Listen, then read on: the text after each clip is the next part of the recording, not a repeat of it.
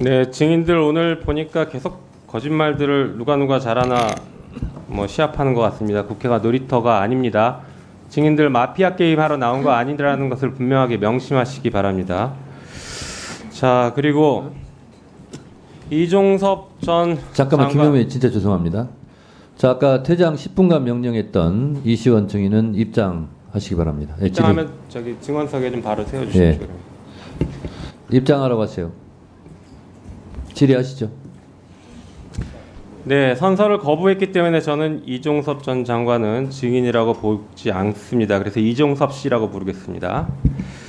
자, 이종섭 씨는 7월 31일 날 30일 날 수사 결과 보고서 결재를 했죠. 화면 한번 보여 주십시오.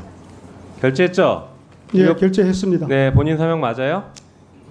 예, 본인 맞습니다. 예. 이게 공문서입니까? 공문서입니까? 사문서입니까? 공문서입니다. 네.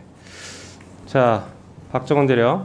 아까 우리 이종섭 씨가 처음에 얘기할 때 이렇게 얘기하더라고요. 이 보고를 받은 것은 언론 설명 자료를 보고받았다 이렇게 얘기합니다. 맞습니까?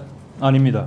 어떤 어, 자료입니까? 언론 설명 자료는 저희가 세 장짜리로 어, 따로 있고 지금 화면에 나오는 자료는 수사 결과에 대한 보고서입니다. 네, 그- 이걸 7월 30일에 들고 가서 보고하고 결재를 받은 것이죠. 그렇습니다. 그러면 아까 이종섭 씨가 언론 설명 자료라고 얘기한 건 거짓말이네요. 언론 설명 자료를 제가 보고한 적 없습니다. 네. 제가 그 말씀 좀 아직 드리면 질문 안 했습니다, 씨. 잠깐만, 여기서 기다리세요. 제 시간이에요. 굉장한 네, 오해가 시간, 있기 시간, 때문에 시간 멈춰 주시고요. 이종섭 증인 예, 지금 뭐 하는 겁니까? 지금 굉장한 이종섭 오해가 있기 때문에 증인. 그런 겁니다. 좀 이따 말씀드리겠습니다. 계세요. 하셨습니까? 예, 증인 선서도 할 그런 배짱도 없으면서 뭘 이렇게 말이 많아요. 잠잡고 계세요. 본인에게 질문 질문하는 게 아니에요. 질의 계속해 주세요.